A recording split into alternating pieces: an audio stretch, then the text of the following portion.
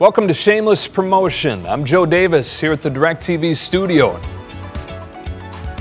Little Giants is the greatest movie ever made. That might be hyperbole, but it's a really good young football movie. It's a guy who's like a former Heisman Trophy winner, and he's now reliving his glory days by running the Pony football team.